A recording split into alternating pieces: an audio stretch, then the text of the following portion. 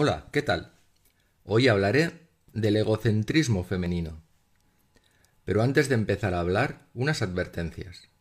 1. Ninguna mujer os ama. Si todavía tenéis esa ilusión, cuando despertéis el estacazo será monumental. 2. Hablar de esta realidad es doblemente doloroso.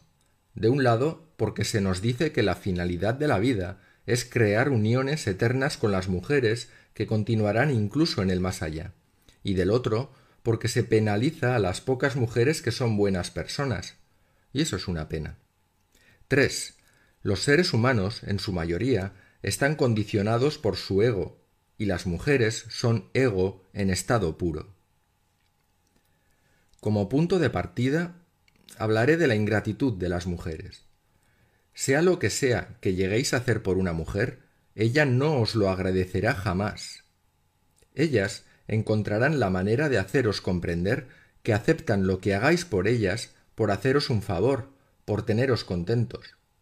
Incluso pueden llegar a pretender que los agradecidos seáis vosotros.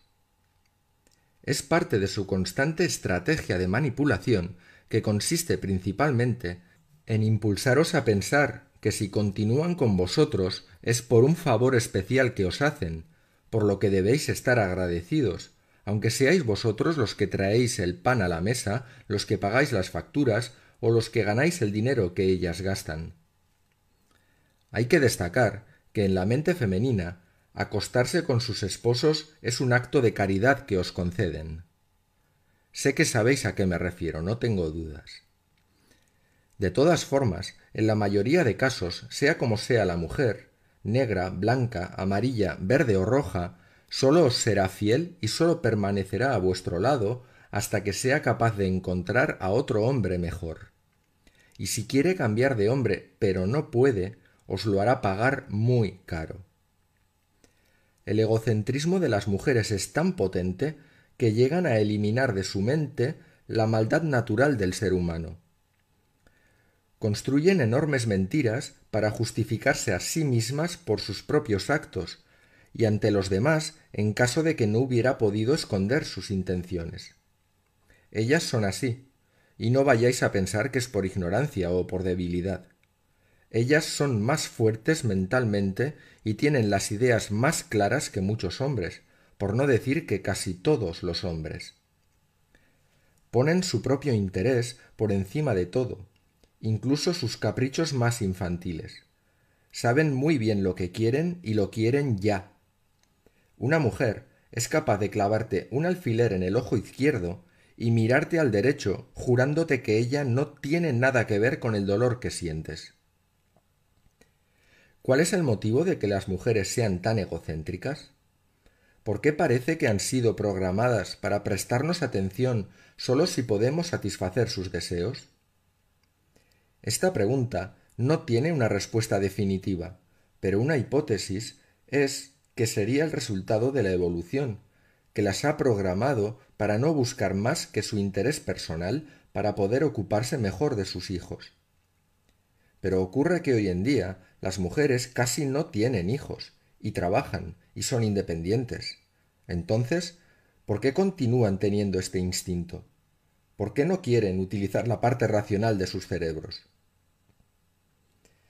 La única certeza que tenemos es que las mujeres son egocéntricas y que ellas siempre estarán dispuestas a lo que sea por conseguir lo que quieren, a mentir, a robar, a engañar, a venderse.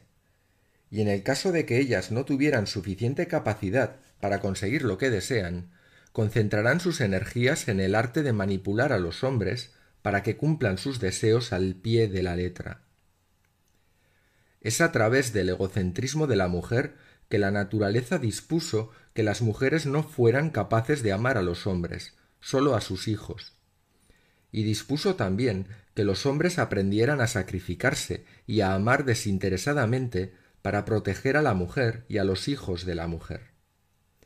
Debido a este egocentrismo, es fácil ver cómo el cerebro de las mujeres es frío y calculador, y bastante menos emotivas de lo que creemos. Muy a menudo cometemos el error de pensar que las mujeres son emotivas y que reaccionan de manera impulsiva. Y quizá esto fuera verdad hace cincuenta o sesenta años, cuando las mujeres todavía eran mujeres, cuando todavía estaban dominadas por su lado más benevolente y amable. Pero hoy en día es más correcto hablar de irracionalidad. Cada vez más mujeres actúan de forma irracional, siguiendo exclusivamente los mandatos de su ego. Los hombres son en realidad más sensibles que las mujeres. Las mujeres son calculadoras y saben perfectamente dónde se encuentran sus intereses. Para ser calculador, como lo son las mujeres, hace falta estar en posesión de muchísima frialdad. Las mujeres saben disimular sus rencores, rencores que pueden guardarse durante semanas, años o incluso durante toda una vida. Ellas os pueden traicionar sin experimentar el más mínimo sentido de repulsión hacia ellas mismas, sin sentir la más mínima vergüenza. Esta frialdad contrasta con la idea de la seductora emotividad femenina.